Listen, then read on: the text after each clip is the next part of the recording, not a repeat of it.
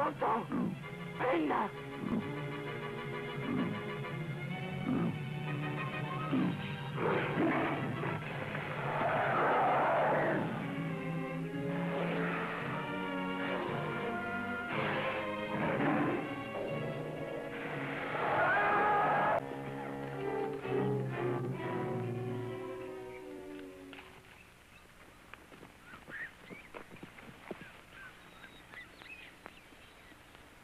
No horn mark.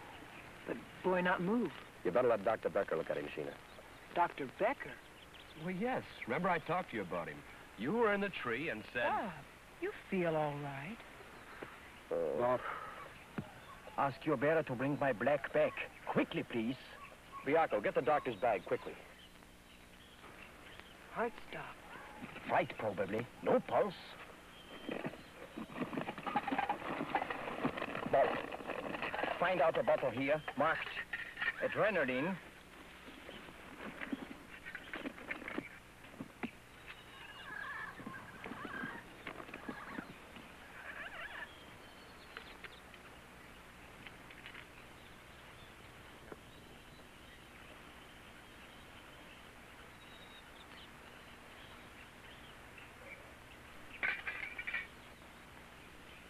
Bob, the gris-gris back is missing.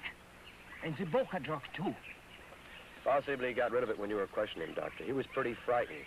He probably stole the powder from the tribe's medicine man. Bob is right. Boy too young to have gris-gris bag.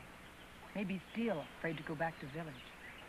Then I will stay with the boy until he reaches village. Then I will find out my secret.